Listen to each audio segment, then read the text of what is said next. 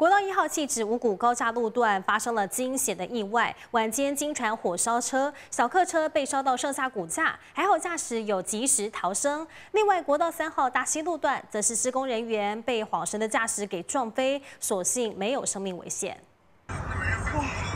吓闹惊呼一声，驾驶放慢车速，因为一旁小客车整台车都被大火吞噬。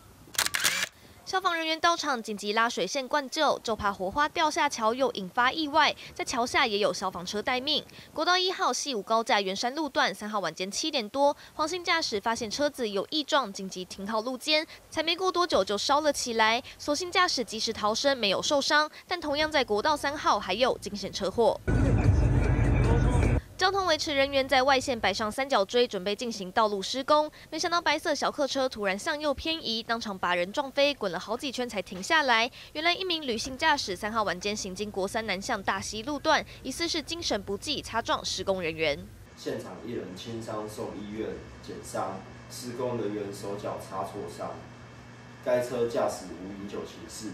在国道上高速遭撞，幸好施工人员伤势不重，送医后没有生命危险。警方后续也将驾驶带回讯问，理清肇事原因，也提醒开车上路一定要注意车前状况，确保自身及他人安全。记者综合报道。